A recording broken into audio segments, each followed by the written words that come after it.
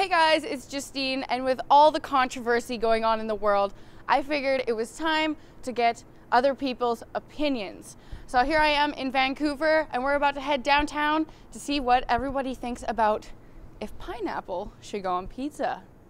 Let's go! Does pineapple go on pizza? Yes. Of course it does, Why?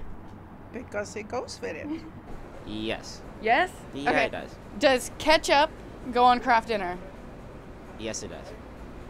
Yes, it does. Yes, it does. Yes, it does. And does ketchup go on uh, Kraft Dinner? Oh, hell no.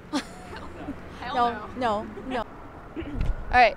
In your opinion, does pineapple go on pizza? No, No. I'm sorry. No. Okay, I agree with you. Um, does ketchup go on Kraft Dinner? Yeah, Yeah. yeah, I see that. We could get along. In my opinion, pineapple doesn't go on pizza. No. No. I agree. Um, does what about ketchup on Kraft Dinner? I don't go with Kraft Dinner actually. No, not a good idea. No. Absolutely. Yeah. It's like dessert and dinner at the same time.